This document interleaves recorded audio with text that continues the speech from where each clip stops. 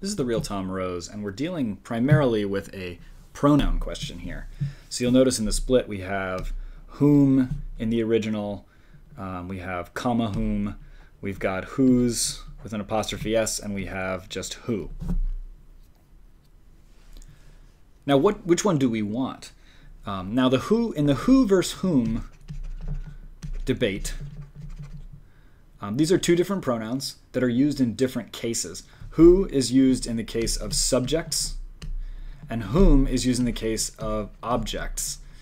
And you, so you can look up what subjects and objects are, and you can use that as your way of figuring this out if you like. Personally, I use a shortcut, um, which is I try replacing the word who and whom with he and him.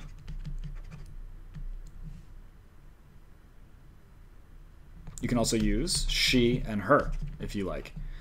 Um, so if I try to take out the word whom and replace it with um, him, for example, the sentence will not work.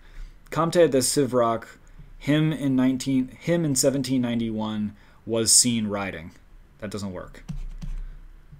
But if I try putting the word he in there, he in 1970, he in 1791 was seen riding. That works, right? If, if the in 19, if in the in 1791 is confusing you, you could just say you could just read it without that. He was seen riding versus him was seen riding. Um, the fact that he works means that we want to be dealing with this column. This is a subject. So you want to use who.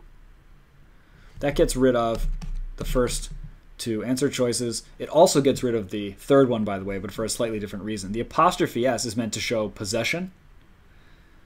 So you would only use that if you were if the word following the whose was going to be a thing that belonged to the who. So if you might say um, whose um, wallet, and that's not what we want.